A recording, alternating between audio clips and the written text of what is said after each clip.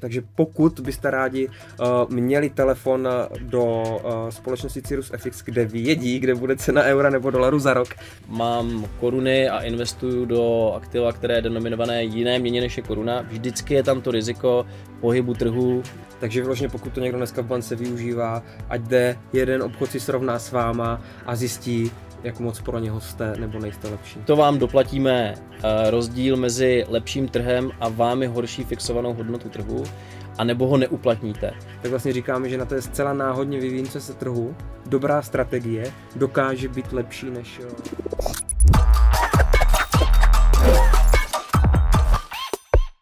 Vítejte u dalšího dílu Investoky. Dneska pro nás uh, díl vlastně připravil Lukáš Pražák. Lukáši, vítej u nás v Brně. Ahoj, ahoj. A to Pražák to není jako uh, hanlivě nebo nějak prostě přijel jako z Prahy, ale Pražák je fakt jako příjmení, takže Pražák s velkým P.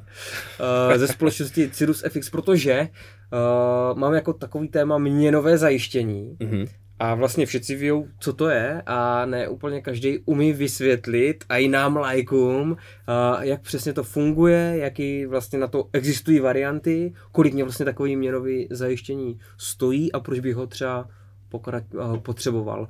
A Lukáš nám tady s tímhle tématem pomůže. Lukáš je ze společnosti Cirrus FX, což je ta, ta úžasná společnost, která vám mění eura a dolary za tak úžasný kurzy. Tak. Uh, byl tady vlastně David Kroupa, tady vám někde vyskočí odkaz, kdybyste se chtěli podívat, eh, za jaký kurzy vám mění, tak si na to klidně klikněte. A teď už jdeme, Lukáši, na to téma. Dejme tomu, uh, co vy vlastně děláte a pro koho to děláte, jak já vás můžu využít a k čemu. Mm-hmm. Na Obecně, vlastně měnový zajištění. Měnový zajištění. Uh, já to vždycky hrozně rád uh, přirovnávám k pojištění domů, že jo, bavili jsme se o domech a o jejich stavbách a uh, to téma se sem, tahat nechci, ale pojištění toho domu bez ohledu na to uh, v podstatě, uh, jestli uh, máš velký nebo malý rizika, pokaždý si pojistíš dům a doufáš, že nevyhoříš. Uh, nicméně tu pojistku každý rok zaplatíš. Takže to pojištění, ta, ta, ta vědomost toho, že se to nestane, anebo když se to stane, tak uh, tě to finančně nesejme, tak eh, to je v podstatě eh, jako podstata i finančního zajištění. Uh-huh. Uh, dejme tomu, mě napadá jako první dva příklady. Za prvé, uh, jeden je, že mám nějaký fungující biznis, podepisu dlouholetý kontrakty, že mi někdo bude dávat zboží a já tu, tu, tu, tu, tu smlouvu jsem smluvně vázan, že to budu vypořádávat v eurech a tam už nejeden podnik eh, téměř jako zkrachoval na tom, že pak eh, na základě jako pohnutí kurzu, tak vlastně se, se uh, vlastně ve výsledku při tom vypořádání byl problém. A druhá věc je, pokud mám nějakou třeba investici, někdo říká, ale když investujete do S&P indexu nebo do zlata, máte nějaký měnový riziko, když dolar prostě půjde na uh, eh, 50%, tak vaše investice taky vlastně spálíte ty peníze a podobně. Tak. Takže pojďme prosím, pojď nám nastínit jako ty nejčastější případy, nebo jestli existuje ještě nějaký da- další, kde to měnový uh, zajištění vlastně člověk může využít, Jasně. případně co mu hrozí. Uh, ty jsi zmínil uh, privátní investice, já nevím, ETF například, ty jsou v eurech, v dolarech. Uh, kdybych já jako korunový investor chtěl investovat do takového nástroje, tak vlastně po celou dobu té investice mám tu mám tam složku, krom výkonu té investice jako takové, tak tam mám složku mezi těma dvě, dvěma měnama. Což znamená, já můžu na té investici vydělat uh, 13% za rok, dám příklad, Eh, nicméně eh, dolar může k hodnotě ke koruně klesnout o 3%, rázem výnos té investice není 13, ale 10% což eh, vlastně ta investice denominovaná v jiné měně než v té, ve které já investuju, tak to je ten, ten hlavní důvod toho, proč bych se měl pojistit na vlastně jako tržní vývoj mezi těma těma dvěma měnama, nebo mezi měnou mojí a mezi měnou tou, co investuju. Uh-huh. Takže takový ten první úplně základní nebo častý důvod fixace je přesně investice denominovaná v jiné měně. Když bych to přetavil do biznesu, ta, ta, ta biznisová část, eh, to často vysvětluji na příkladu, měli jsme třeba jednu klientku, která stavěla velké myčky, takové ty, ve kterých myjeme auta, ale ona je stavila pro kamiony, takže jsou to velké dodávky, velké, řekněme, čekací lhůty na dodávky nějakých jednotlivých komponentů, který potom oni skládají dohromady a staví. A právě to období, kdy oni čekají na dodávku nějakých, nějakých materiálů nebo prostě komponentů, tak to období je to, kdy oni jsou vystaveni tomu kurzovému riziku. Jinými slovy, konkrétně tenhle ten příklad, který jsem dal, se možná jako usmívám, ale šťastný není. Ta klientka vyhrála soutěž, nebo respektive tender na dodávku asi čtyř nebo pěti takových velkých myček a e, zakázka, která ji měla, řekněme, ekonomicky vystřelit, e, jak ona říkala, do nebe, e, tak realizovala s mínusovou marží, takže jí to málem to podnikání položilo, protože právě nebyla finančně zajištěná. Jinými slovy, ve chvíli, kdy šla do toho tendru a dávala tam nějaké ceny, které vstupovaly do páru s eurem, protože nakupovala nějaké komponenty za eura a prodávala potom ten celek za koruny, tak během toho, než je dodali a než ona je zaplatila v tom finále, tak se pohnul trh v její neprospěch a jak říkám, věc, na které měla opravdu vydělat, reálně prodělala. Že ten, to, to pojištění toho, že, že se mi tohle nestane, tak to je ta podstata toho, proč by si měl, ať už firmní klient, nebo soukromá osoba při investicích pojišťovat nebo fixovat kurz. Uh-huh. Takže napadá mě, kdybych měl stavit myčky za, za, dejme tomu 100 milionů a nemám 100 milionů, musím nakoupit eura, tak je varianta buď to, že si dneska za 100 milionů koupím ty eura, protože jsem vyhrál tu soutěž, anebo když je nemám, tak vlastně se musím měnově zajistit. Dejme tomu, že mám nějaký biznis, to se asi nevím o 100 milionech, ale o třeba 10 miliardách, že někomu Může podepíšu být. smlouvu, že mu, že mu vlastně o, něco postavím za tyhle peníze, který potřebuju nakoupit to euro, a, ale nemám ho a nemám tak. ani peníze na to, abych koupil ty eura. Jak mi můžete pomoct tady v tomto? Uh, v tomhle případě jsou dvě varianty. Uh, asi se později dostaneme k jako rozpadu toho, co, co je forward, co je varant ale v podstatě vznikne mi, vzniká-li mi v budoucnu nějaká povinnost úhrady v jiné měně, než já si teď můžu jako celek koupit, tak v podstatě pak, když se chci zajistit, tak musím uzavřít nějaký kontrakt, který jasně definuje, za kolik v budoucnu ta eura nakoupím. Když tohle nevím, tak nejsem měnově zajištěný a můžu realizovat ztrátu, tak jak jsme se o tom bavili před chvílí. Nicméně, eh, když bych tomu chtěl předejít, eh, tak jsou tady dvě alternativy. Eh, jedna je FX Forward, druhá je FX Varant. Obě dvě, oba dva tyhle ty nástroje jsou, řekněme, zajišťovacím instrumentem, když to jako hodně s obecním a zjednoduším, kdy v případě třeba toho forwardu my si dneska jasně řekneme, za kolik, když bych dal příklad nás dvou, my si jasně dneska řekneme, za kolik, bys, za kolik ty ode mě za rok koupíš to euro. Což znamená, budeš znát budoucí hodnotu té měny, kterou nakupuješ a tím pádem budeš schopen jasně definovat cenu uh, už dneska. Uh, to je případ forwardu, kdy víš, za kolik v budoucnu koupíš. A příklad uh, variant, var, variantu je řekněme, takový osvobozený od toho, že tu hodnotu eura, když to porovnám varant a forward, a v případě, jak jsem říkal, forwardu znáš a víš, že za rok koupíš euro za 25 korun, dám příklad, bez ohledu na to, kde je teďka trh. A, a může se ti stát, že ten trh bude za ten rok, až pro tebe bude aktuální vypořádání toho biznesu, bude na spotovém trhu cena 24. A v tom případě ty by si sice na tom začátku znal tu cenu, za kterou na rok, za rok nakoupíš, nicméně za ten rok by si nakupoval s korunovou ztrátou. Barant tohle řeší a vlastně ta jeho podstata je taková, že ty za ten rok nemůžeš nakoupit hůř, než máš fixováno a současně hůř, než je ten spotový trh. Takže uh, vlastně takový ten hlavní rozdíl mezi těma těma uh, dvouma nástrojema je ten, že uh, prostě Varant ti dá záruku, že na tom v úvozovkách neproděláš. To neproděláš dávám do úvozovek především kvůli tomu, že když fixuju nějakou hodnotu mezi jakoukoliv měnou, máme tady příklad euro koruna, tak ty se na ten, jak jsme to označili, prodělek musíš koukat trošku jako přerámovat, nekoukat na to jako investor, nekoukat na to, že můžeš na trhu koukat líp, koupit líp, ty se na to musíš koukat, že ta cena, kterou za to platíš, je to bezpečí, který ty si ten po dobu toho roku měl. Takže Velmi zjednodušeně teda. Řeknu, forward je, že já s vámi podepíši smlouvu, že si od vás za rok koupím 6 tisíc euro za předem dohodnutou cenu 25 a já si to musím koupit. Tak. Tak to je prostě. Ta povinnost vypořádat ten forward v budoucnu nikdy nezmizí. Mhm. My jsme schopní ten termín, který označíme uh, jako ten den D, kdy si ode mě koupíš ty eura, jsme schopní s ním hýbat, uh, ale uh, nikdy nevyšumí, nikdy nezmizí. Což znamená, ten závazek, který my si dneska domluvíme, musí být v budoucnu vypořádán. V případě forwardu. A ten forward, když to řeknu, za to, že mi dáte takovouhle smlouvu, vy jdete do nějakého samozřejmě rizika. Vy to předkupujete tu měnu, držíte nebo... nebo... Uh, ne, nedržíme. Uh, My v podstatě uh, máme tu likviditu připravenou na ten den, na který se domluvíme. Mhm.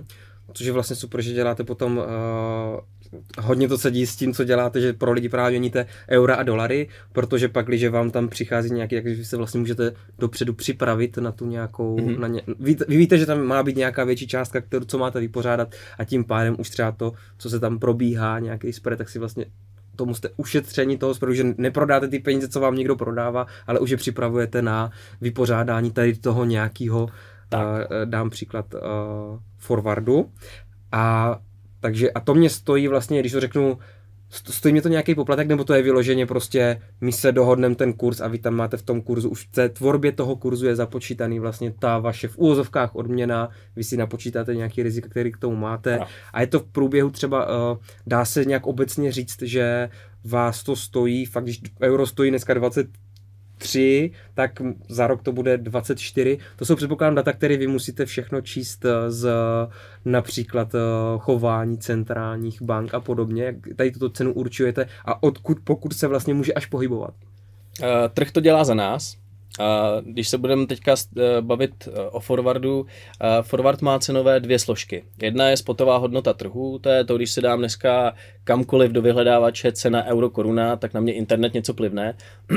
Většinou to není to, za co bych nakoupil, nicméně nějakou indikaci, kde se pohybuje trh, mi to dá. Uh, tak tomu říkejme spotová hodnota trhu. A druhá složka té ceny uh, jsou forwardové body. Je to rozdíl mezi prostě úrokovou sazbou jedné a druhé měny v tom páru, uh, ve kterém, mezi kterým směňuju. a uh, v podstatě v těch forwardových bodech, v tom úrokovém diferenciálu, už je započteno, započtený nějaká predikce toho, kam se bude vyvíjet trh. Jinými slovy, když prostě eh, se očekává v případě koruny, že půjdou úrokové sazby dolů, že koruna bude oslabovat, eh, tak se ty forwardové body chovají jinak, než kdyby ta predikce eh, síly koruny byla opačná.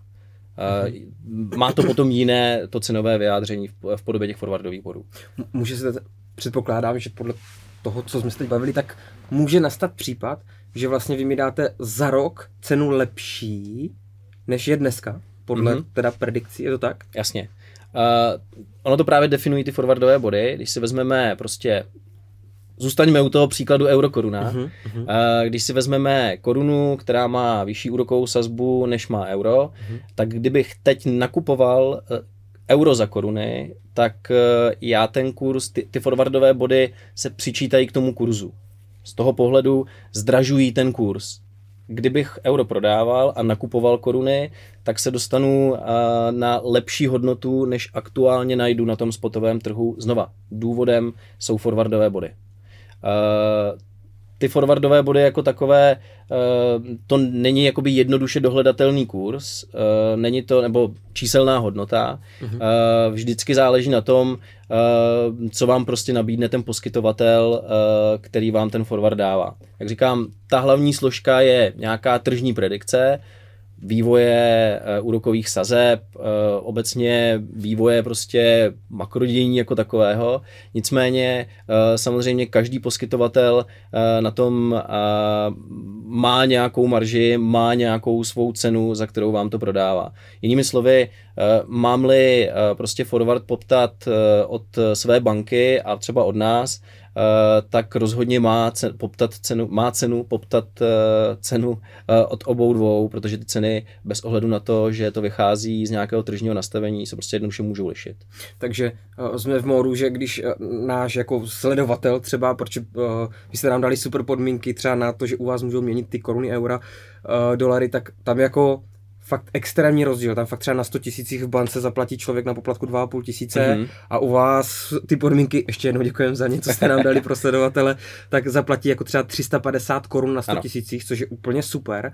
Uh, Děkujeme za to. A uh, je něco takového i třeba tady, že řeknu prostě, pokud ně, někoho využíváte na uh, forwardy třeba a měníte si jako v bance, to řešíte. Máte tady taky nějaký, existuje taky takový obrovský, jakože řeknu, nůžky té výhodnosti?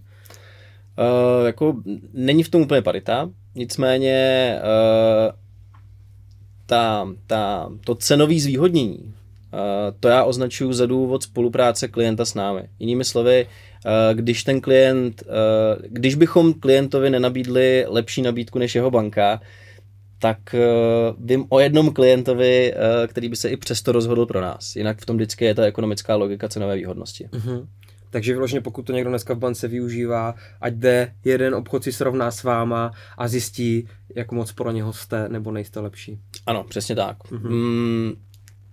Když už uh, jsme načali to téma porovnání, mm-hmm. uh, u toho forwardu je nutné se pozastavit. Z jednoho prostého důvodu, eh, to porovnání je skutečně nutné dělat na stejném zadání a velmi často se tak neděje. Mhm, Když to mhm. vztáhnu do biznesu eh, nebo do toho segmentu B2B, Eh, tak eh, velmi často eh, klienti porovnávají třeba nějaký forward, který rolují z minulosti, což znamená mhm. v minulosti za nějakých tržních podmínek nakoupili forward, jak jsme říkali, s tím termínem vypořádání se dá hýbat, takže oni s ním hýbou, řekněme, až do toho, do té chvíle, kdy ho s náma chtějí porovnat, ale není to porovnatelné. Když já porovnávám něco na základě aktuálního tržního, aktuálních tržních hodnot s tržníma hodnotama, které byly před půl rokem, tak je to neporovnatelné. Takže uh, u toho tématu porovnání toho forwardu bych se rozhodně zastavil kvůli uh, tomuhle a pak samozřejmě také kvůli tomu, že,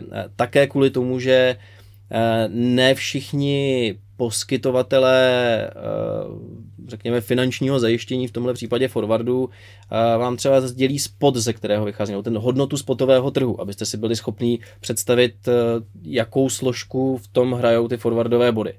Prostě řeknu vám číslo a řeknu, tak to je. A vám se to potom jako velmi těžko porovnává, protože nevíte, jestli jste vycházel z 25 na, na, na, tom, na, té, na, té, na, v té složce toho spotu, nevíte, jestli jste vycházel z 25 nebo 25, 20. Je to pro vás číslo, které je menší nebo větší, uh, ale reálně jako nedojde k tomu porovnání. Takže tam, uh, když bychom se potom bavili, uh, nebo respektive já, když se bavím s klienty, tak tohle je téma, když porovnáváme cenu, kde jsem jako velmi důsledný v tom zjistit, s čím vlastně eh, to číslo, s čím vlastně to porovnáváme. A musí to být ten aktuální kurz, protože porovnávat ze směnárně za kolik mi prodají euro teďka s jinou směnárnou, za kolik ho prodávali před třema dnama, ano. tak to absolutně nemá vypovídající hodnotu. Hmm. Je, je to skvělá logika. Kdybych vlastně uh, porovnal u jedné směnárny a přejel přes půl města k druhé směnárně, tak eh, prostě ten přejezd už jsem spálil nějaký čas, během kterého se trh pohnul a není možné to porovnat. Uh-huh, uh-huh. Takže pokaždé, vlastně to je úplně jednoduchý, jestli chci zjistit, jestli jste pro mě dobří, tak je pošli teďka zaraz, za kolik byste mi prodali forward za rok, jaký, jestli by kurz eura byl 25 třeba od vás a v bance za kolik, tak vlastně, a to se předpokládám vyplatí asi po každý poptávat takhle u více rože, jakože... Uh, Nebo máte lidi, kteří fakt řeknou, hele, my už bereme jenom od vás? Určitě máme i lidi, kteří říkají, bereme jenom od vás, protože um, takovým tím, řekl bych, uh, výrazným důvodem, proč s náma klienti spolupracují, je, že na začátku té spolupráce porovnávají cenu. Zjistí, že využitím našich služeb ušetří koruny, nebo jinou měnu. Uh, ale uh, taky zjistí to průběhu času té naší spolupráce, že my prostě neděláme to, že bychom mu na začátku nabídli nějakou hezkou líbivou cenu mm-hmm. a kdybychom ty podmínky porovnali za půl, za tři čtvrtě roku, tak už by tak hezká líbivá nebyla. A ono, co si budeme povídat, přece jenom to porovnání těch cen, kdo na to má v tom biznise čas, že jo? Jestliže já jsem člověk, který řeknu, má obrat firmy 50 milionů, jsem v jedné osobě majitel, marketák, obchodník a další profese, tak mi do toho časově úplně nezapadá sednout si nebo vyčlenit si hodinu, sednout si ke stolu, obvolat čtyři instituce, mezi, čemiž, mezi, mezi těmi telefony je zase časový rozestup, takže to porovnání stejně není úplně jako validní, řekl bych. Uh, takže, takže mm, řekněme, jako velmi dbáme na to, aby ta důvěra mezi námi a klientem vznikla a ten klient už potom tu nepříjemnou činnost v podobě porovnávání, aby na ní jednoduše mávnul rukou nebo ji dělal sporadicky. Mm-hmm. Takže pokud chápu správně, tak ten forward vlastně je teda vypořádání v budoucnu. Já vím přesně, my jsme domluvení, že já vám za rok donesu milion korun a dostanu v kurzu 25 korun za euro, prostě dostanu eura, musím to tak udělat.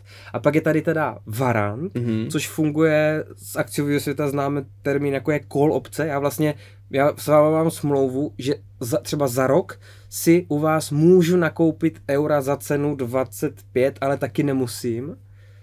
Ano, uh, varant je správně nazván opcí, uh, kdy uh, ten varant funguje, řekl bych, o dost jinak než forward, ale tu podstatu toho, toho hedge, toho, té fixace rozhodně plní. Uh, má to jednu zásad, jeden zásadní rozdíl a to je ten, že varantem zafixovanou hodnotu kurzu v budoucnu, kterou samozřejmě znáš, uh, tak když ta hodnota toho kurzu bude horší než trh, tak ty vlastně dostaneme se potom přesně k tomu, jak si můžeš nakoupit za tu, za tu lepší hodnotu.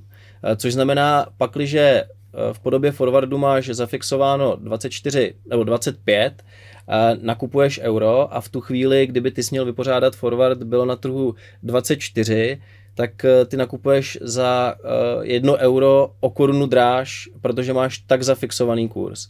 V případě varantu tohle není. V případu varantu je to, že když je na trhu lepší hodnota, než ty máš zafixovanou, tak vlastně můžeš nakoupit postupně se, nebo později se určitě jako dostaneme k tomu, jak přesně, ale můžeš nakoupit za ten lepší trh. Uh, nebo uh, na druhé straně, uh, pakliže ta hodnota, kterou máš zafixovanou ty, je, je, je lepší než je na trhu, tak samozřejmě potom uplatníš tu, tu hodnotu toho, toho varantu jako takovou.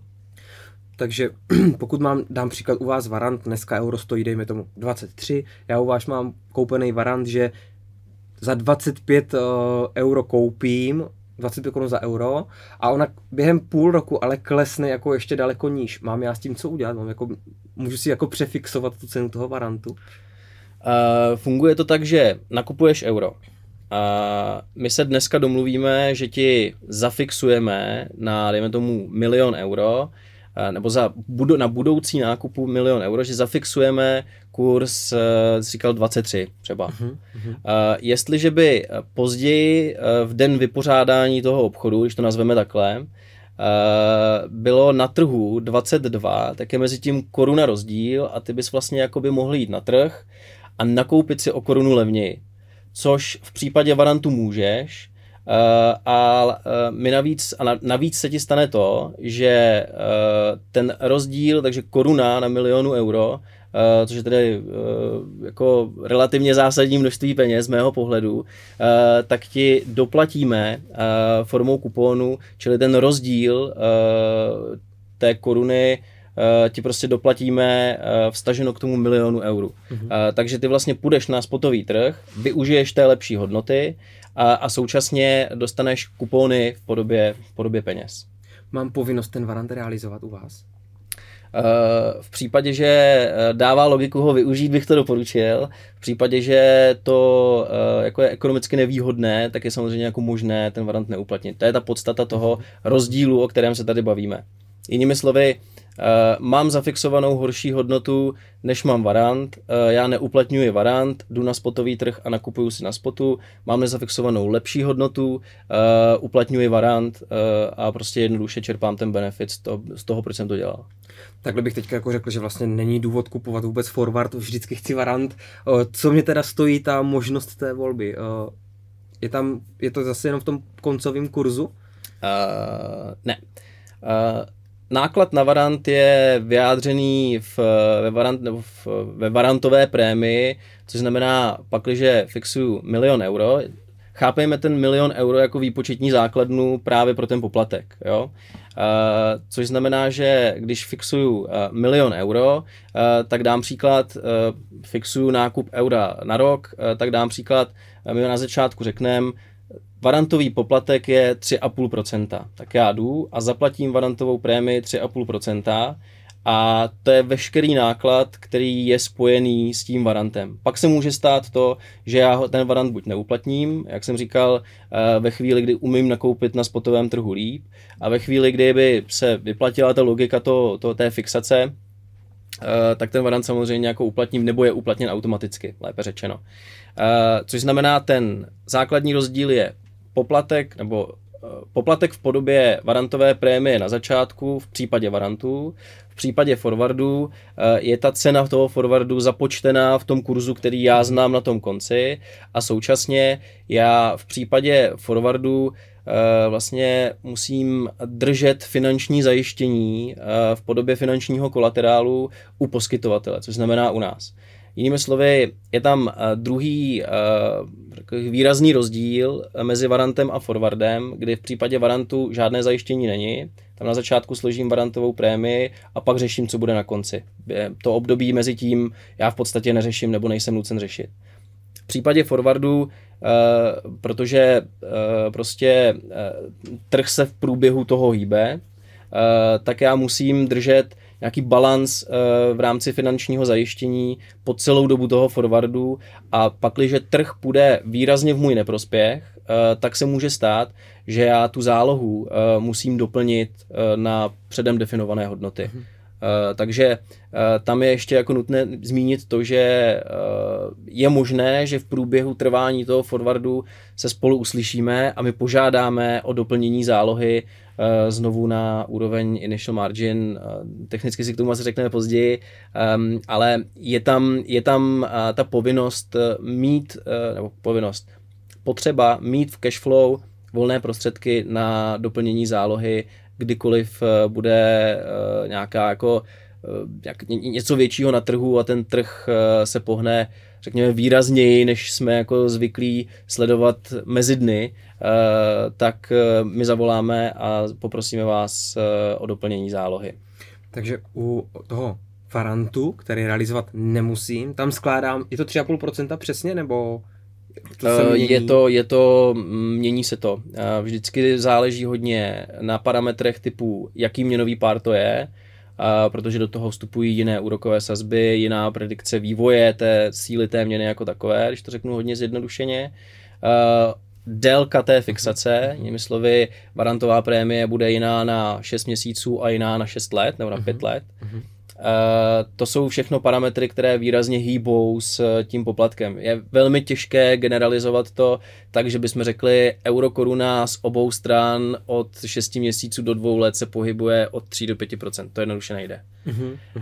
Um, takže uh, takže v, případě, v případě toho varantu prostě poplatek na začátku v podobě opční nebo varantové prémie, v případě forwardu veškerý náklad započítaný do toho kurzu, za který vím, že na konci toho forwardu směním. Uh-huh. Takže a u varantu teda skládám na začátku něco, částku, která je předem definovaná a můžu v budoucnu využít nebo nemusím. A u toho forwardu teda tam držím, držím tu a jakým způsobem to, kde držím ty peníze, kolik procent třeba z té částky, jakým způsobem to je, to držím u vás na účtě, řeknete, složte u nás 10% z toho, co jste nám slíbil, že nám za rok donesete. Ano. Není to 10%, ale 5% uh-huh, v nějakém uh-huh. standardním nastavení, kdy my vlastně my když, respektive, uh, abych odpověděl postupně, ta záloha se skládá k nám uh, na zajišťovací mm-hmm. účet a aby ta záloha plnila ten účel, který má, uh, tak to musí být uh, složeno na účtu, ke kterému klient nemá dispozici. Jednoduše, mm-hmm. aby nešlo udělat to, jako, aby to plnilo ten formát toho zajištění, mm-hmm. aby nešlo udělat to, že já se přihlásím na nějaký účet a ty peníze si převedu kamkoliv jinam.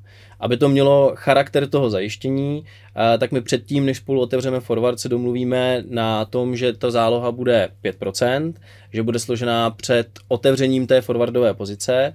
Jednoduše, aby jsme neudělali to, že uh, si otevřeme forward a za čtyři dny jsme řekli, já už ho nechci. Uh, to, to, to by ten v úvozovkách cirkus šel velmi těžko řídit. Uh-huh. Uh, čili před otevřením forwardové pozice je nutné složit uh, finanční kolaterál v podobě 5%, takže to finanční zajištění. A to finanční zajištění potom hlídáme my. Samozřejmě nenutíme klienta sledovat tržní dění a počítat si, jestli jeho aktuální výše zajištění je na 5 nebo na 3%. Nicméně ty 5, těch 5 a 3%, to jsem nezmínil náhodou, my hlídáme ten balans v tom, jak říkám, standardním zajištění tím, jak se hýbe trh, tak ten nominál té zálohy, který u nás složíte, vlastně buď roste, anebo klesá na hodnotě a tím pádem i roste nebo klesá to procento zajištění té pozice. Což znamená, že my začínáme na 5% a když by se náhodou stalo, že by šel trh ve váš neprospěch, a e, ta, to zajištění by najednou bylo pod 3%, tak my vám voláme a požádáme vás o doplnění té zálohy e, znovu na výši těch 5%. 5%. E, u tohohle chci dát do pozornosti výrazné pozornosti, protože je to velmi častý dotaz a velmi časté nepochopení. Není to poplatek nebo více náklad. Je to, eh, my u sebe držíme nějaké peníze v podobě toho zajištění, ale eh, při tom vypořádání na konci eh, se to započítává proti té závoze, že o to posíláte míň. Uh-huh. Není to poplatek. Tam žádný poplatek není, jenom vím číslo na konci a po dobu budu držet část toho vypořádání na konci. Ano. Uh, jak často se to děje? Uh, to, že žádáme Stalo se to někdy, jakože nebo... Uh, jsou tržní vlivy typu uh, snížení úrokových sazeb, uh, v nějakých extrémech třeba uh, jako mm, třeba finanční inter, uh, devizové intervence České národní banky, které prostě s kurzem uh, české koruny nebo kurzem k tomu měnovém, v tom měnovém páru, uh, ve kterém fixujeme, tak ta výchylka je prostě větší než standardní. Uh, obecně těch 5 a 3 že rozdíl 2% 2% na té měně, konkrétně v případě euro koruny se jako nedějí až tak často. Nicméně, je-li nějaký výraznější tržní vliv, na který trh reaguje větším pohybem, je možné, že, že se za tím účelem doplnění zálohy uslyšíme. Uh, nicméně uh, funguje to zrcadlově stejně, takže kdyby se stalo, že eh, se trh eh, hne ve váš prospěch, tak samozřejmě umíme vám zavolat a říct vám, vy tady nemáte 5, ale 7%, 2% jsou pro nás zbytečné, jsme schopni vám ze zálohy uh, poslat zpátky nějaké X. To, to děláte? Ano. Hezký. Děkujeme. a, teď byla totiž velmi jako turbulentní doba právě, že jo, měnili jsme eh, guvernéra České národní banky a řekněme, mm-hmm. ta politika se jako v jeden moment velmi výrazně změnila. Byl to nějaký takový moment, který nastal? Uh, bylo to takové kurzotvorný, kurzotvorný jako šílenství, co se tady trochu dělo? Měli se s tím ano. nějaký jako, no? Uh, vybavuju si to nebudu se přiklánět ani na jednu stranu toho, jestli si myslím, že to byla přehnaná reakce trhu nebo nebyla přehnaná reakce trhu. Každopádně viděli jsme teďka při jmenování pana Michla eh, to, že i jmenování konkrétní osoby do čela takhle důležité instituce, jako je Česká národní banka, umí být výrazná eh, kurzotvorná zpráva. Uh-huh. Uh-huh. Síla koruny na to nezareagovala úplně pozitivně tak museli intervenovat proti vlastnímu tak, guvernérovi. Tak. A když bych se měl teda dívat do budoucnosti, protože vy předpovídáte budoucí, takže vy máte vlastně tu věštící kouli, kterou my bychom rádi. Jak to bude teda s vývojem ceny české koruny do budoucna oproti třeba euru nebo dolaru? My jsme ji taky strašně rádi měli. To by se nám ten biznis potom dělal strašně jednoduše. A kdokoliv, kdo vám řekne, eh, že s nějakou vyšší mírou pravděpodobnosti ví, jak se bude chovat trh, eh, tak to prostě jednoduše není pravda. Ani my to nevíme. Z důvodu toho existují ty nástroje na pojištění toho trhu. Kdybychom věděli, že eh, koruna bude už jenom oslabovat eh, a ten kurz poroste už jenom nahoru, tak bychom vlastně nikomu, kdo vyváží a prodává za eura v našem příkladě a má tady náklady v podobě výplat nájmu a dalších věcí v korunách, vlastně nemohli říct, tak si fixujte, protože jako postupem času by se ta vaše cena eh, měla jenom zlepšovat. Ale to prostě bohužel, jako, nebo bohužel nemůžeme udělat, nebo neumíme udělat tak. Rozumím, lépe rozumím. řečeno. A čísla teda, když to řeknu, když si dneska zafixujeme za rok, tak vy to počítáte z těch, z těch z, z čeho to počítáte teda? Nebo ten... kde se vezme to číslo, že dneska stojí euro 23 a za rok by mělo stát 25? Kde se to vezme? Z čeho vy teda konkrétně, že tady trochu zmiňoval, klidně pojď víc do hloubky. Mm-hmm. Uh, je to definováno těmi forwardovými body. Ty už by měly mít uh, samozřejmě Mm, jako nemyslím si, že existuje na Zemi člověk, který by vynalezl model, který by se prostě setkával s realitou ani krátkodobou, ani dlouhodobou ve 100%. To prostě jako není. Uh, takže uh, řekl bych, ty forwardové, jako, ty forwardové body jako takové, uh, v případě bank jsou to výpočetní modely, které jim chodí kalibrovat společnosti jako přímo určené na, na, na tu cenotvorbu a stejně pořád je to jenom jako předpoklad. Nicméně uh, ta, ta, ta předpověď toho, kam by se měla cena, uh, řekněme, koruny v případě měnového páru eurokoruny dostat, tak ta je definovaná, definovaná těmi forwardovými body. Respektive tuhle tu předpověď dělají forwardové body za nás. Co dneska forwardové body říkají, kdyby měla být cena eura za rok? Eh, když bychom dneska koukli na, při nákupu eura, když vycházíme, já vím, že to teď trh není, ale když se mi to počítá, že by euro stálo 25, eh, tak forwardové body jsou někde na úrovni Uh, tuším 18, 20, 20 haléřů, když to vezmu aplikováno na eurokorunu. Takže když bych nakupoval euro a řekl bych, chci to dělat za rok, tak se z dnešní spotové cenovky 25 budu koukat na nějakých, dejme tomu 25, 20, 25, 25. Je možné, že od, eh, předvčerejška, od včerejška, kdy jsem ta čísla viděl naposled, že tam došlo k nějaké korekci, nechytejte mě případně za slovo, vždycky je lepší si to eh, poptat na ten konkrétní váš případ a příklad. Mm-hmm a tušíš to na, do, na dolar. Pro mě, že tak grilluju. Díky. Já potřebuju do budoucna vědět, co budou dělat moje investice. Uh, na dolar to tušíš tady tohle, dneska je to uh, příznivý scénář pro Radši bych ti to číslo ověřil, než bych tady teď řekl něco, co bych pak musel vrát zpátky. Chápu, chápu. V Ale není to náročný, je to jeden telefon k nám na dealing. Uh-huh, uh-huh. Takže pro všechny naše fanoušky, kdo chce vědět, kde bude kurz eura nebo dolaru za rok, zavolejte si na dealing uh, Cirrus. Uh, budete nám dávat nějaký odkaz na založení do popisku? Určitě. Jo, takže, takže máte možnost uh, a tím i podpořit tenhle kanál, že? Takže, takže pokud byste rádi uh, měli telefon do uh, společnosti Cirrus FX, kde vědí, kde bude cena eura nebo dolaru za rok, je samozřejmě saranda, prosím vás. Jo, ne, Dík za ten dodatek. uh, tak kdybyste chtěli, tak samozřejmě můžete založit, založit uh, si účet u uh, Cirrus FX. Je to ten stejný účet, jako si zakládají ty lidi, co u nás mění eura dolary? No, u vás hmm, teda? Nebo to je jiný účet? Je to, je to uh, jiný účet. Uh, je tak to, dejme tomu, nazvěme to administrativou. Řekněme, že kliknu na odkaz pod tímhle videem dneska, že jsem fanoušek, říkám si, hele, já bych chtěl měnově zajistit uh, a chtěl bych o tom vědět víc informací nebo tak, popsat tak, si, tak. co pro to musím udělat dneska. Uh, velmi jednoduchá věc, jednoduše nám zavolat. Ono, uh, když jsem někdo, kdo s tím nemá zkušenosti, když jsem někdo, kdo má uh, konkrétní řeší konkrétní potřebu, vždycky je dobré o té konkrétní potřebě mluvit. Tak jsem říkal, eh, v případě forwardu, eh, ta cena se skládá ze dvou věcí, spotová cena, forwardové body, ta spotová cena je velmi důležitá, tudíž je zde nějaký, řekl bych, relativně silný předpoklad toho, že úrokové sazby při dalším měnovém politickém zasedání můžou jít dolů, eh, tak by to teoreticky mělo znamenat oslabení koruny a vystřelení kurzu nahoru. Teď jsme viděli naposledy Tržně se předpokládalo 24%, šlo to o půl procenta, byla tam, řekněme, nějaký jako výraznější reakce trhu, než na co byl trh připravený.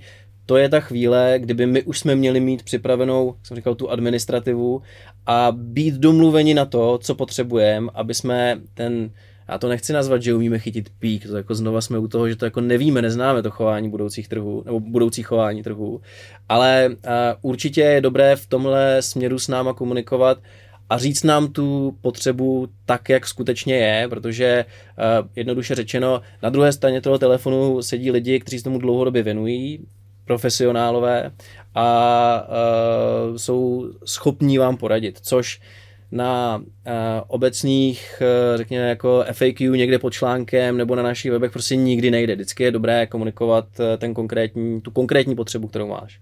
Mm-hmm. Takže jednoduše řečeno uh, zavolat, uh, zjistit, uh, jaký měnový pár řeš, řeším, na jak dlouho, co zatím biznisově je. Jo? Jestliže já bych šel uh, vlastně do do té poptávky nebo do komunikace, nebo šel bych, řekl bych, své pomocí do toho, jestli někde na trhu seženu forward, třeba bychom si řekli, že pro vás je lepší jako řešení varant. Třeba bychom si řekli, pojďme zkusit počkat na to měnové politické zasedání, který by mělo znamenat, že z pohledu prodeje eura by mohla být, neříkám bude, ale mohla být ta cenovka lepší. Prostě ta komunikace s náma, řekl bych, není na škodu, uh, viděl bych to spíš z opačné strany spektra, je to výhodou. Prostě, mm-hmm. uh, jak jsem říkal, na, náš, náš standardní klient uh, není člověk, který by spekuloval na forexovém trhu, tu znalost chování trhu nemá, uh, asi, nebo ví, že existuje měnové politické zasedání, troufám si říct, že nemá napsáno v kalendáři, kdy přesně to bude. Uh, my to napsáno máme, takže v tom duchu ta konverzace probíhá a pak se prostě snažíme najít nejlepší řešení, které pro toho daného klienta jeho potřebuje.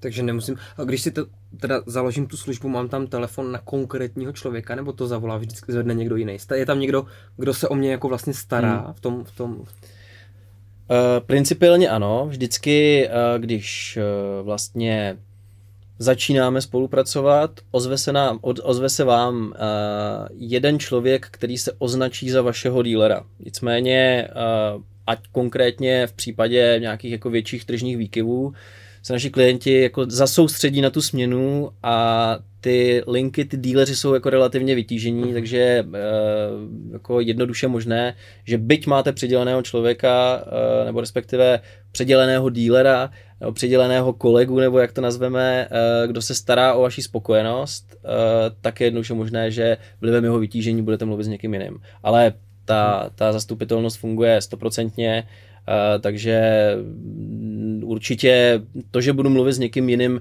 než na co jsem zvyklý, je spíš subjektivní pocit. Uh, biznisově to nemá vůbec žádný dopad. Uh-huh. Chápu.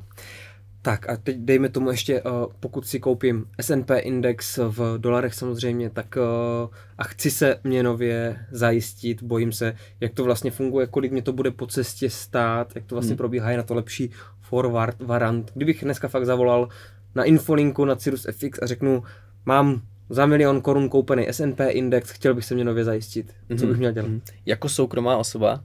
No a to, jsou, to je téma, který tak. přesně chci rozebrat, co, co je jako, jako, jako právnická osoba, jako mm-hmm. soukromá, jakým způsobem to máte rozdělený, jaký třeba minimální částky a tak. Jasně. Uh, řekl, řekl bych, že není jako market standards jako fyzická osoba brát forward. Neříkám, že to nejde. Nicméně uh, my v současnou chvíli poskytujeme forwardy výhradně právnickým osobám. Uh, to je teď, neříkám, že se to do mhm. budoucna mhm. nezmění. Uh-huh. Uh, co jsme schopni nabídnout fyzickým osobám, je již zmiňovaný variant, uh, který prostě účel toho hedgingu nebo účel fixace splňuje také. Uh-huh. Uh, jednoduše řečeno, a ty si správně zmínil, mám koruny a investuju do aktiva, které je denominované jiné měně než je koruna. Vždycky je tam to riziko pohybu trhu, no, riziko takže negativního pohybu trhu mezi těma dvěma měnama. A z mého pohledu, nechci říkat, co je dobře a správně, ale je zodpovědné si to riziko jednoduše eliminovat tím, že si ty podmínky zafixuju. Eh, takže v případě, eh, kdyby fyzická osoba chtěla investovat do S&P uh, v dolarech, tak pak má formou varantu cenu fixovat, fixovat nebo pojistit se proti tomu pohybu trhu mezi korunou a dolarem dneska formou varantu. Od jaké částky to můžu u vás udělat? Ten varant? Uh-huh. Uh, ten varant je, minimální částka je milion euro, ale ten milion euro chápejme, uh, ne, jak už jsme tady předtím narazili na to, že uh, ten varant můžu a nemusím uplatnit, Jednoduše řečeno, na konci toho varantu jsou dva možné scénáře. Buď to vám doplatíme rozdíl mezi lepším trhem a vámi horší fixovanou hodnotu trhu, anebo ho neuplatníte.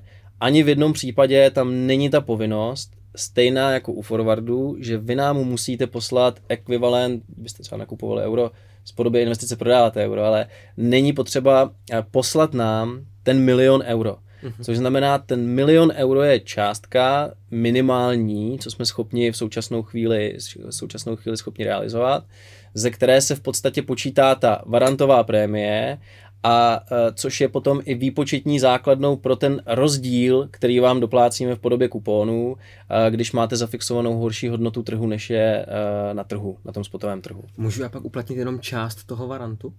třeba 50% toho varantu chci uplatnit a nedává to smysl, proč bych to dělal? Tak, mm-hmm. tak, nedává to smysl. Ale, ale uh, znova, tam nedochází k tomu, že byste nám posílali milion euro. Mm-hmm. Tam to, to tak není. Tam buď ho neuplatníte a pak prostě jednoduše řečeno se neděje nic a vy můžete jít na spotový trh a nakoupit si tam libovolné množství euro, kdyby to mělo být 10 euro. Mm-hmm vůbec se nevztahujeme k tomu milionu, mm-hmm. anebo uh, když máte zafixovanou horší hodnotu, uh, tak uh, dám příklad, o 2%, tak my vám zaplatíme v podobě toho kuponu, takže peněz 2% vstaženo k milionu, takže 2% z milionu. To je, to je, to je vlastně, takhle chápejme ten milion. Nechápejme ho jako nějaký balík peněz, který musí mít v kapse a vytáhnout ho ve chvíli, kdy mi varant končí, tak to není. A co se týče toho forwardu, teda co musím splňovat, abych u vás mohl žádat o forward? Uh, já teď nechám stranou administrativu, do který počítám podpis smlouvy a mhm, mhm, tyhle, ty, mhm. tyhle ty věci. Uh, tedy býti právnickou osobou v současnou chvíli. Uh, potom Uh, forward je v přeneseném slova smyslu jakoby úvěr, čili uh, tam nutně probíhá kreditní scoring eh, toho daného klienta, toho daného subjektu, kde my říkáme uh, vlivem výkonu, uh, vlastně ekonomického výkonu vaší firmy, nebo stavu vaší firmy, jsme schopni vám poskytnout forward do nějaké výše. Uh-huh.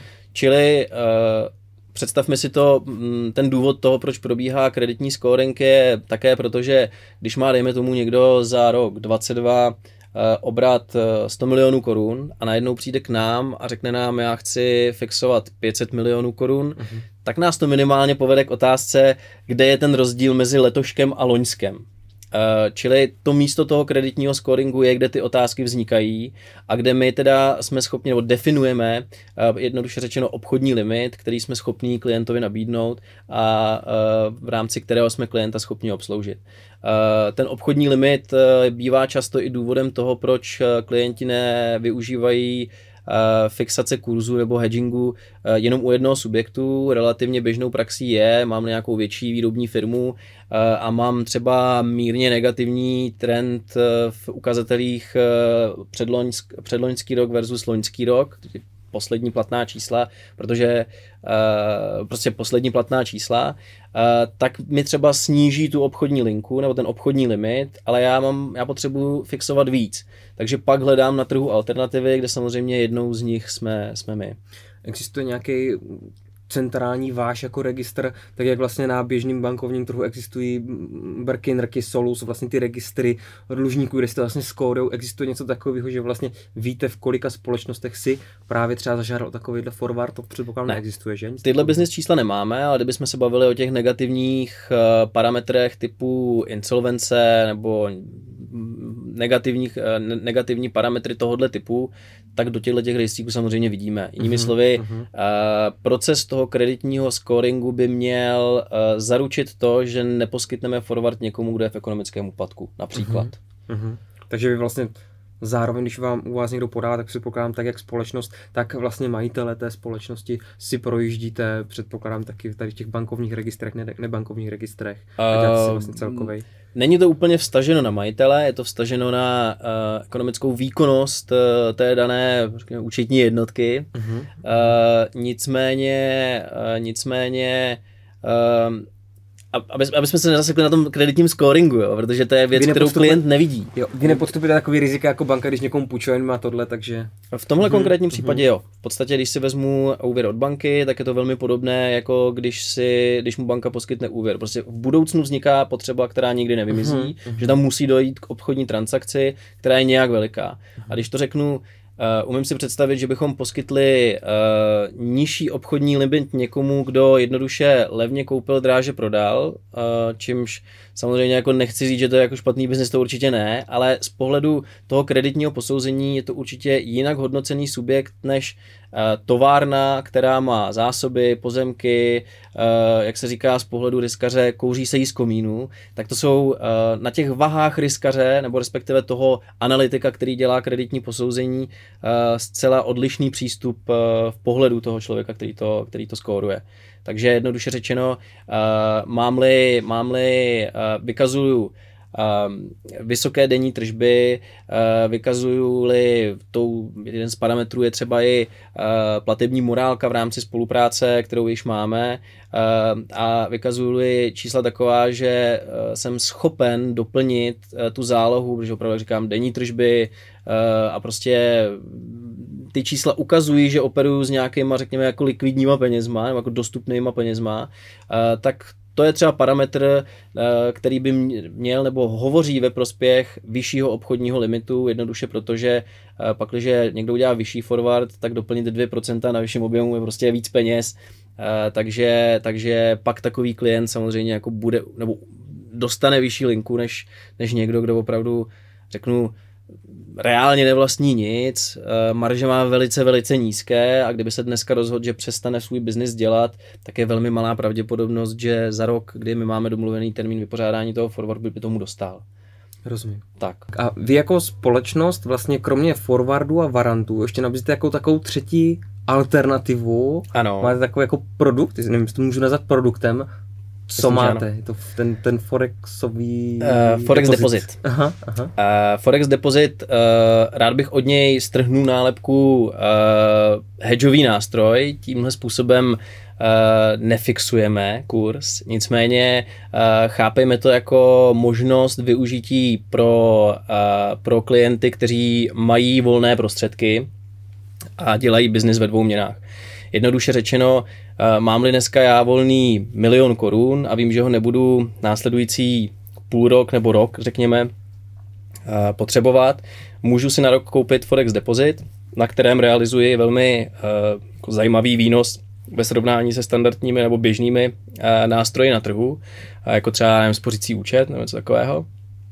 S tím, že já si vlastně na začátku toho Forex depozitu definuju nějakou hodnotu kurzu, za kterou buď v budoucnu dojde nebo nedojde ke směně. To podle toho, jestli trh bude nad tou hodnotou anebo pod tou hodnotou. Uh, takže uh, ten důsledek nebo ten, ten účel toho Forex depozitu primárně je výnos z té, nazveme to investicí, z toho milionu korun, který já na rok někam dávám a na konci prostě, když jsem dám příklad, označil na tom začátku že budu, ten, ten rozhodný kurz, eh, který posuzuju na konci, je 20, nakupuju eura, prodávám koruny, eh, je 25, 20 eh, a na trhu je třeba 24, tak v tu chvíli mě se vrací české koruny, protože to nedosáhlo té hodnoty, kterou já jsem na začátku definoval. Pakliže se té hodnoty dotkneme nebo ji překročíme, tak jediný rozdíl je, že na konci dojde k té směně do těch eur a já dostávám výnos eura a vlastně v té lepší směné hodnotě, než když jsem na to koukal na začátku. A to je něco, na co se podíváme možná v příštím díle. OK. Protože ať uh, už lidem nezamotáváme hlavy, okay. že, že tady byly uh, ty, na, padaly ty na, názvy forward, varant a podobně, tomu, že se bojím, doufám, že to moc lidí jako nevyděsilo. Uh, víš, co je to vyhrají život, investiční deskovka? Uh, ještě jsem ji nikdy nehrál, ale v rámci přípravy, než jsem šel sem, uh, tak jsem se samozřejmě podíval. Věděl jsi, že ji dostaneš? Nevěděl. Tak tady máš od nás uh, investiční deskovku Vyhraj život. Já ti děkuji. Doufám, že se mi to v podstatu toho názvu někdy povede. O, Díky. Na co jsi přišel, když si to teda se na to díval v rámci přípravy? Uh, přiznám se, že vím, že ta hra existuje. Jo, jo, jo, jo takže uh, dobrý. Tak já jsem autor té hry, tak uh, jo, jo. doufám, že bude bavit. Jediný, co tam není, tak nejsou měnový páry vůbec, takže... Bude verze dvě? uh, no, teďka dělám na knížce. Takže, takže verzi dvě jsem jako měl v plánu, ale myslím si, že jako kdyby za pět roků, tak bych byl moc optimistický, jestli vůbec. Mm-hmm. Jo, je to, je to strašně moc práce a, a, a absolutně na to není čas, takže už teď si hrozně dlouho hledám čas na to, abych si vůbec zahrál tady tuhle hru, protože si ji chci hrozně zahrát, už jsem to i nasliboval několika lidem, ale teď bohužel kvůli časové vytíženosti to úplně nejde. No. Jako autorské hraní, jo? No, tak mám jako kamarády, tady to, vlastně ta hra vznikla původně jako pro nás, já jsem si jako dělal pro sebe. Že já jsem hrál Cashflow Kiyosaki, uh, Chrissy závod, ty si znáš, od uh, Kiyosakiho. A vlastně jenom jsem říkal, jo, škoda, že tohle je udělání takhle, škoda, že tohle takhle. Jasně. Tohle je úplný nesmysl, jo? že ta, ta myšlenka té cashflow je super, já tu hru určitě jako nechci zazovat. Nicméně je tam spoustu nepřesností, něco je tam jako špatně úplně a, a tak jsme si říkali, jako si vytvoříme lepší verzi pro sebe, ale nakonec to dopadlo teda, že to si to vzalo tolik času, kolik si to vzalo a my jsme to jako fakt udělali ve fyzické podobě, ale druhou bych chtěla, ale zase jako zvažuji, jestli že třeba tam můžeš investovat do drahých kovů, akcí, kryptoměn, že bych jako jsem chtěl původně, že uděláme tady tu jednoduchou verzi pro normálního člověka, aby tam zkusil třeba nějaký investiční strategie a mhm. principy. Mm-hmm. Uh, a že bych jako pro každý ten sektor udělal jako solo hru, vyloženě jako ně, hru, která by byla na kryptoměny, kde by bylo zahrnut i mining, aha, kde by bylo aha. zahrnut vlastně uh, jako specifikace pro ten konkrétní trh, mm-hmm. uh, abych vlastně to víc ponosil, protože tady tady vlastně, když to řeknu ty jednotlivé jednotlivý investice, tak vlastně tam jako definuji jenom nějaký investiční riziko a jak s ním pracovat v investiční strategii. Mm-hmm. Jak funguje vlastně rebalanční mm-hmm. strategie a tak. A člověk se tam může zkusit, super, děkuju. A, a vlastně potom už jako ta hra, kdyby jsme tam dostali ještě třeba, že si někdo může těžit bitcoiny na, na a, a, a bude se třeba proměnlivá cena elektrické energie a proměnlivá cena toho daného aktiva, který mm-hmm. jako mhm. těží toho coinu, tak by to bylo tak neskutečně složitý, že by to samozřejmě nikdo nehrál. Jasně. Tak jsme si říkali, jako, že, že si vytvoříme tady ty odnože, nicméně je to už, já nevím, tři roky a furt jsem se ještě jako, už mám jednu, dvě jako představy už mám, co bych jako, tak vždycky si jako píšu poznámky, ale, ale myslím si, že to bude ještě takový jako, že nice to have, není to jako must have. A nice to have prostě mít fakt jako tu, tu vyhrej život krypto nebo bitcoin, vyhrej život jasně, uh, drahýkový, vyhrej život akcie, vyhrej život dluhopisy, vyhrej život nemovitosti i když tam existují, myslím, Monopoly, že? Mm-hmm. nikdy ne... Hrál jsi někdy Monopoly? Hrál, pak jsou ještě dostihy a sásky. No. no. Já jsem byl dostihy a sásky. To jsem hrával vždycky a hráli jsme to dva dny vždycky, jakože taky to tam, hrozně rád, no. no. tak to jsem měl, to jsem teda zbožňoval. Ale Monopoly, paradoxně nám píšou, že to jsou jako moderní Monopoly, ale já jsem nikdy nehrál a hraju je teďka až, až s malým, jakože tu dětskou mm, verzi, mm, jo, takže jasně. vlastně po, dá, dá, se říct, že před měsícem jsem si poprvé zahrál své první Monopoly a byly to ta dětská verze, takže... Takže vlastně můžu s určitou jasností říct, že Monopoly nebyl vzorem tvojí hry. No, to, to nebyly, pochází no. jako z tvojí hlavy. To nebyly, no. Uh, no, my jsme dost jako, tam i ty principy vycházely možná z cashflow krysy závod, kdybych to mm. měl říct, protože uh, tam jsou třeba, že při štěpení akcie rozdělení firmy je dvě za jedna nebo jedna za dva, na tom člověk reálně vydělá nebo prodělá, což jako jsou totální nesmysly a mě to vlastně, úplně si říkám, jak může Robert Budou, Kiyosaki prostě, takový ten celosvětově známý investor prostě, tam dá takovouhle věc, takovýhle vlastně úplně jako nesmysl. Nebo že tam jako dojde do stavu, kdy akcie společnosti je na minimum úplně a už nikdy nemůže jít dolů pod 1 dolar, anebo na maximum 50 dolarech a už nemůže, takže úplně jasný, když stojí dolar, tak kup za všechno, prodej trenky, tyjo, že jo, on Bitcoin maximalista, ten prodej úplně všechno, uh, bydlí v prázdné místnosti s jednou židlí a, a, a nakup a naopak, když je 50, tak prostě prodej úplně všechno, což jsou vlastně principy, které když si člověk vštípí do, do, do reality přenese, hmm, hmm. tak jsou absolutně nepoužitelný. A vlastně to, to mě vlastně mrzelo, no, proto hmm. jsme to jako, a i chtěli to jako život v té hře, jako výhrej život, jakože hmm. hrát si a i že vlastně tu zkušenost z té hry, nějaký ty investiční principy, že člověk snad si jako může přenést do jako normálního i života, jakože když si to zahraje. Máte nějakou zpětnou vazbu, že se to reálně děje, to, že se to jako lidi zahrajou a přenášejí si to do, do reálního života? Jo, Jo, jo, jo. jo ono je tam jako tady takové přeje, jako, ne? no jo, jo, jo, to, to, tohle je super. Uh, a ono je paradoxně třeba i tam často jako lidi, když jsme testovali různě ty kola, tak se tam fakt reálně dostávali přesně do těch svých finančních situací. Někdo je vyloženě, jdu po jedné věci, nakoupím to za všechno, je to nejlepší, někdo je vyloženě, tohle dělám, tohle nedělám a většinou fakt ty lidi, a, a i často dostanou nafackovaný, že žijou jako to svoje Hmm.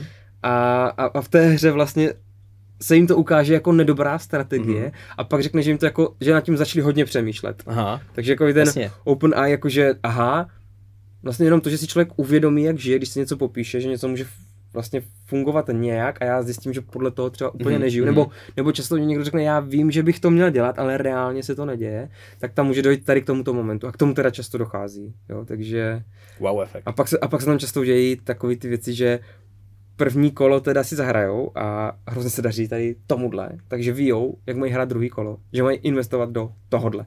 A to druhý kolo je samozřejmě vyfackuje, No jasně. protože, protože trh je prostě, jo, vždycky někdo říká, nejlepší je zlato, nejlepší jsou akcie, jo, že zastává jednu fázi to, a, a vždycky vlastně čas ukáže, jestli to bylo dobrý nebo špatný rozhodnutí, Hmm. ale v jiném čase by to bylo blbý rozhodnutí, jo, že celý život někdo tvrdí, že tohle je jediný dobrý, ale zlato nás dokázalo fackovat 20 let No, jasně. po, po roku 1980 a akcie nás dokázaly fackovat po roku 1929, že jo? Tak vlastně podle toho, ta moje životní pravda, že tohle je nejlepší investice, ukáže až čas, jestli jsem měl pravdu nebo ne, protože v jiném období to absolutně nebyla pravda třeba, no. Krása trhu. Je, je, to tak, je to tak. A já vlastně tam chceme i definovat, že i když jako tam kurzy hážou, padají na kostce, je to vlastně zcela náhodný, tak vlastně říkáme, že na té zcela náhodně vyvíjící se trhu dobrá strategie dokáže být lepší než, eh, než to, že si vyberou třeba nějaký aktivum s nejlepším poměrem jako riziko ku výnosu. No. Já teď, jak si tady o tom povídám, se až divím, že jsem o tom jako neslyšel předtím. Jako. Jak je to možný? O, a zřejmě blbý marketing. To, to nemůžu jsme- hodnotit. ne, my jsme to jako, my jsme zadali, zadali reklamní kampaň, která měla běžet před dvěma lety a furt Mhm. není hotová a no, tak to je, To, to bude nějaká extra exkluzivní kampaň, nebo jakože, uh, proč to trvá dva roky, jestli se můžu zeptat. No, uh, není čas. Není Jasně, čas. to je Vždycky to na někom stojí. Vždycky to na někom stojí. Mm. Nejdřív, když se to natočí, až se to natočilo, tak to stálo na střihu, až to nestojí na střihu, teďka momentálně to nestojí na střihu, teďka to stojí zase na mým čase, kdybych to měl já jako zkontrolovat, jestli ten střih si všechno sedí, takže vždycky se to nas, zastaví na něčem. No, a vždycky něco, protože já mám jako teď, přestože má člověk málo času, tak teď jsem se dal do dalšího YouTube kanálu, který tvoříme a vždycky jako ten čas je tak strašně rozstřelený, že já bych totiž dělal všechno. všechno prosím vás, nikdo mi nepište, že se mnou chcete něco cokoliv, cokoliv dělat, protože já se proto vždycky natchnu. Hmm. A pak samozřejmě, když člověk jako bourá, staví, uh, má dvě děti, uh, YouTube kanál, jo, tak prostě do, do toho jako... Druhý eh, YouTube kanál. Jako, no, druhý YouTube kanál, Prostě. tak do toho, do toho, když člověk jako No je to pak prostě strašně rozstřelený samozřejmě, ale já jsem vždycky jako do toho nadšený a vždycky bych ty věci strašně rád dělal a mám chuť. Ale tak předpokládám, že to asi znáš, no. Velmi dobře. Jo. Jo, jo. Dům jo, dům splněno. Uh, děti? Dvě. Dvě děti. Mm-hmm. Věk, jestli se můžu zeptat? Věk? No. Uh, šest a tři. 6 a 3. Jo, By mi manželka to. Pět a tři. 5 a 3. Jo, jo, jo. Tak my jsme před chvílou zrovna oslavili a taky jsme 5 a 3. Hezky. Holky, kluci. Uh, holka starší. Holka starší. Jo, jo, jo. jo. No, a jasně. kluk mladší. Kluk mladší, no. Mhm. Uh, jako musím říct, kluk a holka opravdu výrazný rozdíl. Jo? No, co, co, co, co vlastně do všeho. Uh, u nás je to tak, že jako ta holka velmi klidná a kluk opravdu zaměstná oba rodiče na tři full timey, to je jako, jsou to kolikrát jako fakt vtipný situace, no. A to teda my máme velký rozdíl i kluk kluk, že jsou fakt jako hodně odlišní a i kluk kluk, jakože on si říká, že to dítě se narodilo do stejného jako stejným rodičům, Hmm. stejná výchova, všechno stejný. Nicméně to jako první dítě se narodilo ke dvěma dospělákům Hmm. a druhý dítě má vedle toho sebe toho svého sourozence, jo. A to už je vlastně za mě úplně jiný prostředí. Vlastně. A takže, takže i jako fakt úplně odlišný ve prostředí, v stejném prostředí vyrostou fakt jako odlišný. Vždycky se říká jedno z těch dvou rarách a je otázka, jestli první nebo druhý. Blbá zpráva pro všechny, kdo mají klidný první dítě. U vás je to jak? No, my jsme měli prvního raracha, hmm. ten byl jako fakt extrémně živej, extrémně i plačtivej, dřív teda, teďka už se to jako dost mění.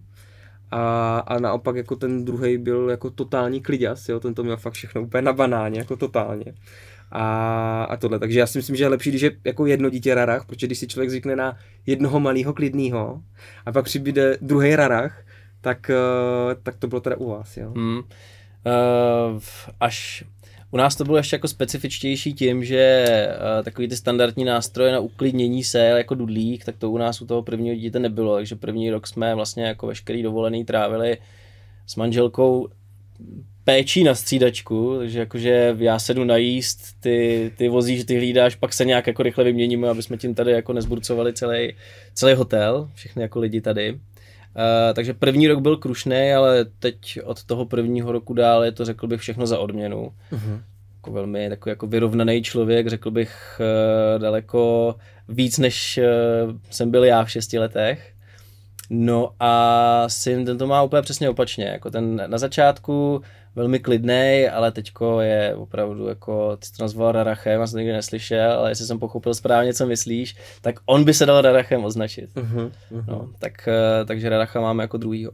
Tak to jsme velmi výrazně odbočili od měnového zajištění. Ano. Lukáši, děkuji moc. Je něco, co bys rád doplnil ještě, jako co tady nezaznělo, mělo by zaznít nějaký disclaimer nebo něco? Uh, disclaimer, disclaimer nechám bokem. Uh, já, co bych určitě rád řekl, uh, vypíchl, je, já jsem to teda zmiňoval, ale chci k tomu dát ten vykřičník. Pakliže uh, řeším nějakou potřebu, je dobré ji řešit s někým, kdo tomu rozumí a nemíchat uh, někdy i protichůdné informace, kterých je na internetu plno. Mm-hmm. Jinými slovy, zavolat a nějakým způsobem nastínit tu potřebu a vyslechnout si to řešení Eh, šetří čas a v tom finálním eh, vyjádření i číselným to bývá prostě úspora peněz. Uh-huh. A to, to za mě asi všechno. Tak zvažte svůj čas, jestli má hodnotu peněz, který případně můžete ušetřit. Tak. Rozhodně, pokud si budete zakládat, využijte prosím odkaz pod videem a pak se samozřejmě můžete spojit s odborníkem, který už vám může poradit, jak to přesně funguje. Velmi rádi. Lukáši, děkuji moc, eh, že jsi přijel k nám tady do Brna. Doufám, že si tady líbilo. Já jsem tady často a rád. A děkuji za díl. Já děkuji. Lidi, mějte se, ahoj. Ahoj.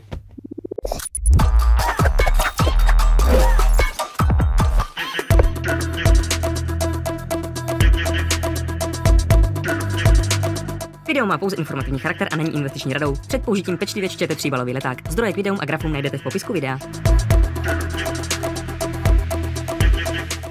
Děkujeme, že jste rozhovor doposlechli až do konce a doufám, že se vám líbil a teď už dejte like, odběr a zvoneček.